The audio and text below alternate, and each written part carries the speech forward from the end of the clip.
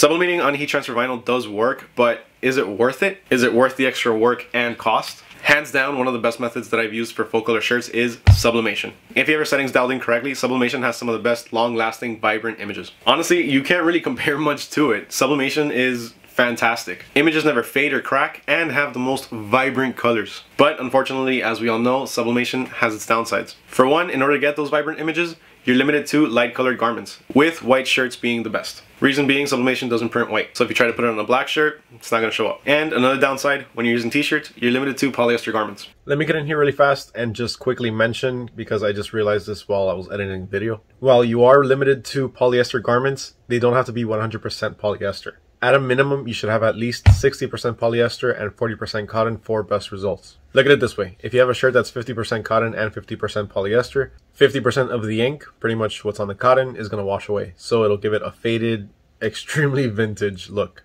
Mostly faded, not really vintage. So at a minimum, try to stick to at least 60% polyester. You can't sublimate on cotton. At least, not directly. Cotton t-shirts are a lot more widely available than polyester t-shirts and a lot of people prefer black shirts versus a white shirt. So that makes getting a full color image on your average t-shirt a lot harder than you'd like it to be. So naturally being a part of the business, people got crafty and decided to find a way around it. Now there's a ton of different ways that people have found to sublimate on cotton. Some of the more popular methods include sublimating onto specialty HTV, sublimation sprays, and most recently a DTF sublimation hack. Now, personally, the DTF sublimation hack isn't really my cup of tea, but I do know a lot of people that have had success with it. Ultimately, it's up to you if you like it and if you want to keep using it.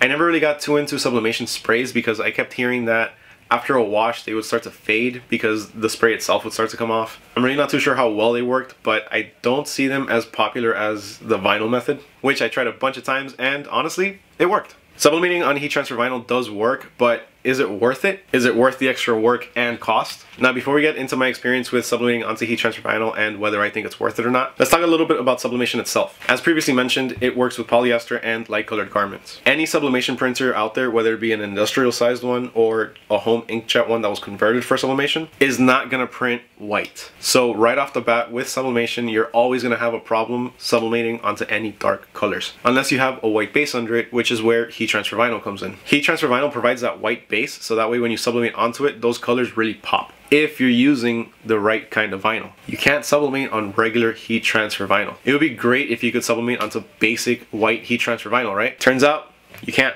It doesn't work. The image is either going to come out faded or the paper is going to get stuck to the vinyl itself. And if the image does come out somewhat vibrant, it's going to wash off or it's going to get blurry after a wash. But that's with regular heat transfer vinyl.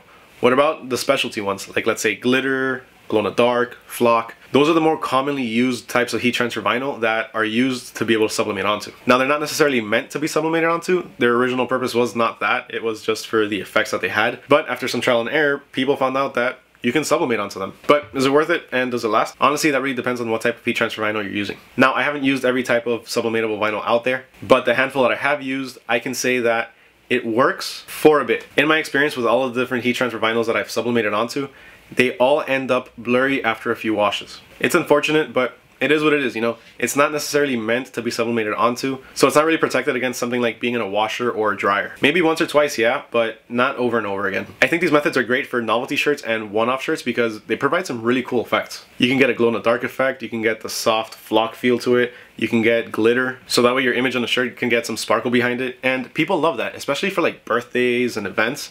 People love that kind of thing. Also, if you're in a pretty tough spot and need a shirt for like tomorrow for a birthday, that's a great way to improvise and get it done. But let's say you have a customer that needs some full color shirts, I don't know, something on the chest or maybe just a logo, and needs these shirts for work and they're gonna be used every day and maybe washed weekly, if not more frequently than that. Honestly, I wouldn't go with this method. This is not something I would use for that. First off, one of the more annoying things in doing this is being able to align the image itself with the heat transfer vinyl. It's hard, especially if you have a detailed image with a bunch of different breaks in the middle it's to be really hard to be able to align them and get everything perfect so that way there's no extra white spots. There's two ways that I found that can help you with that. One of them is getting a light pad and sticking it under the shirt so that way you can see where everything's aligning. And another way that really helps out is include bleed in your print. When you include bleed in your prints, it includes a little extra ink on the edges and it can help cover up some of those misaligned spots on the vinyl. Now while those tips do help you align things and make things a bit easier, it's still a lot more work. And if you're doing 10, 20, 30, maybe 40 shirts, it's gonna be a lot of work, trust me. Now another thing that you need to account for is the extra cost. When you sublimate onto vinyl, you're using sublimation ink,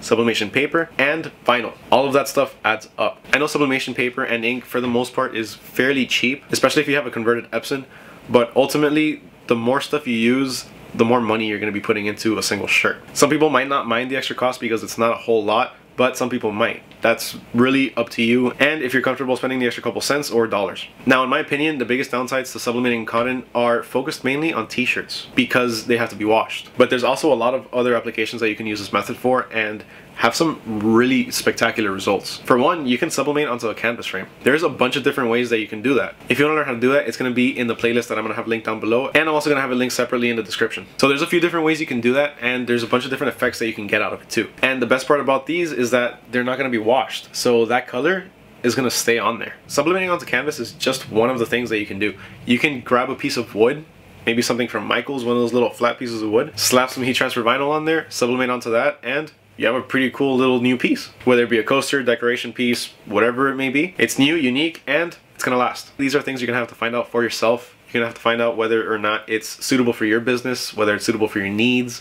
if you like the quality, if you like the durability, and whether or not you should use it. Remember, in this business, pretty much everything is personal preference. It's whether it works for you. As I always say, and I can't stress enough, what works for me might not always work for you and what doesn't work for me could potentially be your favorite method. It's all personal preference. I just like to give my experiences so that way it can make things a bit easier for all of you and hopefully save you some time and money. If you found this video helpful, please hit that subscribe button. I always appreciate everyone being here. Thank you so much again and catch you guys next time.